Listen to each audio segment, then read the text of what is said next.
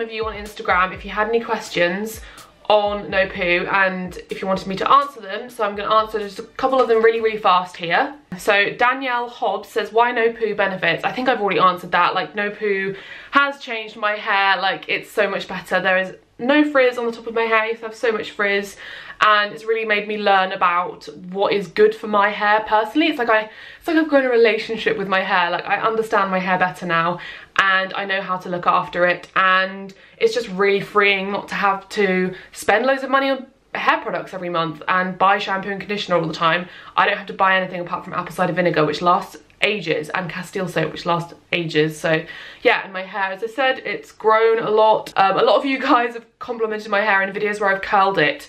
Um, so you're like oh my god your no poo journey. Looks so great. Your hair looks so great. I curled my hair on those days because this is my hair naturally and the videos of my hair looks all kind of like flowy and nice. I curled my hair because I think there have been a couple occasions where I did that because one was around Christmas and obviously because I'm not washing my hair very often it stays curled for like a week and the other day it was my birthday so yeah that's why. That's another benefit if you curl your hair and you uh, style your hair it stays like it, it doesn't change because it's not weighed down by all the product and I used to curl my hair and then it'd be gone within the hour practically. And if I slept on it, it'd be gone. But now I curl my hair and it stays for like a week. So that's pretty great. Ninch, I think that's how you say it. What do you do the hairdressers? I find as soon as I use shampoo again, even just once, the whole balance is broken.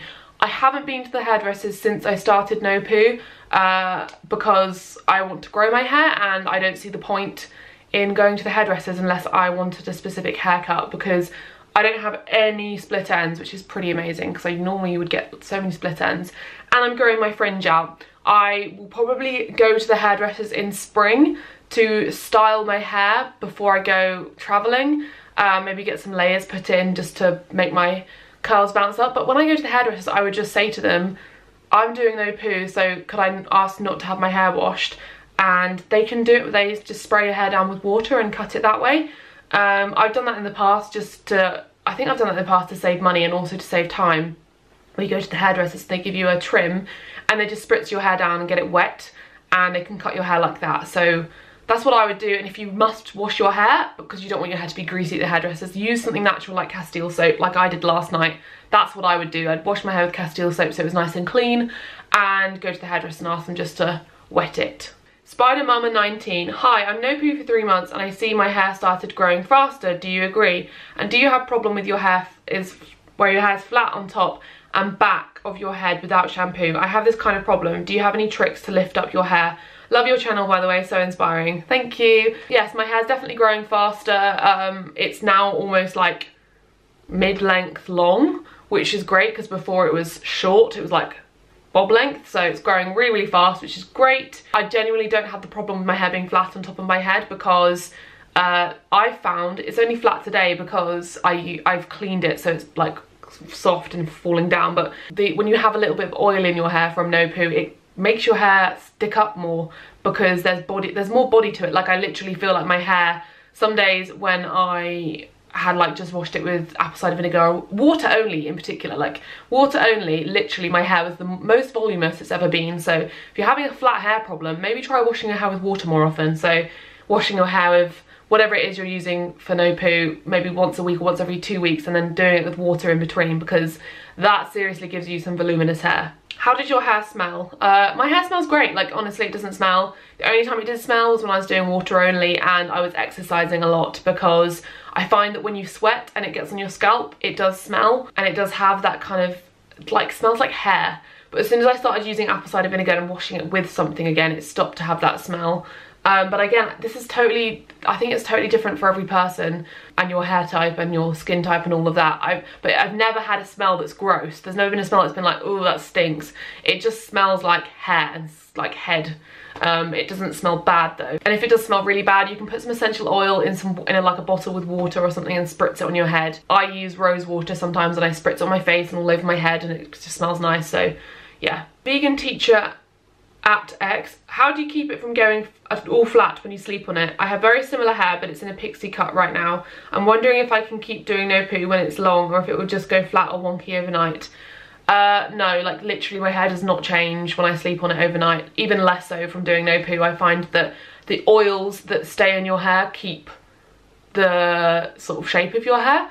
Um, the only thing that I have found is that because I've been brushing it kind of pulls the curls out and the, the amount of grease in my hair would pull the curls out. But I'm not having that problem anymore since using apple cider vinegar again. That was kind of a water only problem. So yeah, I really wouldn't worry about your hair going flat when you sleep on it. And if your hair's short, then that's like the best time ever to do no poo because you've got like short, brand new fresh hair and it will probably adjust a lot better because there's not going to be as much length for the oil to like go away from. So that's like the best time to start no poo because you'll have fresh hair as you grow it and you, you'll, your hair will probably just be completely used to not being washed from the get-go. Art Kate 8. She says, I'm looking forward to it. Have you noticed any different with wearing hats in winter? I do no poo since mid-November and thought I was go I was out of the transformation period, but now it got all weird again. I feel like it's because I only go outside with warm hats at the moment. Have you experienced anything similar?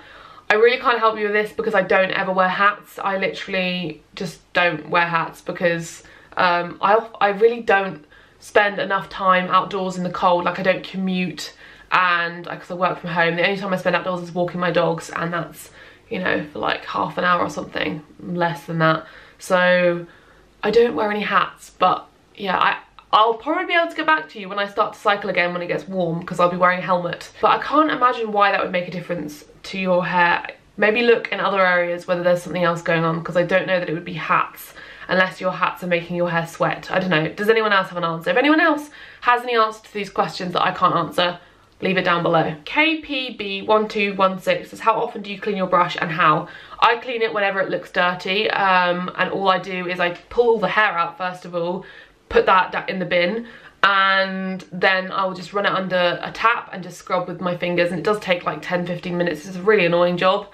Um, but as you progress with no poo, you won't have to use your hairbrush as often and your hairbrush won't get as dirty. So I don't wash my hairbrushes often anymore because I'm not I'm not having to do that any, as much anymore. But if you're doing water only, I don't know, it depends.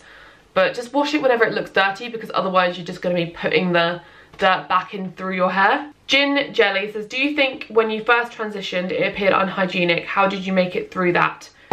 Um, no, it really didn't. I think that I, what I've noticed through the whole experience is that you are the only person who really notices. Like, I asked my boyfriend multiple times, does my hair look disgusting? Have you noticed my hair looking any different? He wouldn't notice. The only people that would notice are people like my mum, for example, because she knows I'm doing no poo. And if you scritch and preen and if you do your research and try and maybe you can slowly transition, so reducing your shampoo, then switching to natural shampoo, and then maybe switching to uh, things like apple cider vinegar, and then maybe trying water only. You don't have to do it like overnight straight away and then have like disgusting hair for a few months. That's not how you have to do it. You can do it slowly. That's how I did it anyway. So yeah, I don't feel like at any point my hair felt disgusting or unhygienic. And that's all the questions I have time for because I don't want to ramble too much. I have started a Facebook group called Minimal Beauty because I've noticed in a lot of these comment sections there's so many of you who know so so much and there's also a lot of you who have a lot of questions and I think it'd be a really great way for us to all help one another uh, answer each other's questions. I've already started two Facebook groups, one for uh, Versatile, one called Versatile Vegan for my ebook and for anyone who is vegan or going vegan or whatever. And then I've also got one for minimalism called Declutter Your Life, which is all about minimalism and decluttering and clearing out. And then I just thought, why not? Because I was really enjoying sort of seeing all your guys' posts on those ones. Why not do one for No Poo? Because there really are a lot of things that need to be answered. And I found it quite tricky when I was doing no poo to find all the answers and do your research because online there's not a lot of um, information out there apart from the, the typical baking soda apple cider vinegar method which I don't recommend. Um, baking soda is not good for your hair. um, so yeah, there's kind of limited resources out there. And you have to do a lot of digging and a lot of experimenting to find out. So maybe if we helped one another, we'd help people cut out making those mistakes and yeah, we can all kind of help each other. If you're if you're doing no poo, join the group and then you can ask all the questions you have and see if anyone's gone through a similar thing. So I will link that down below.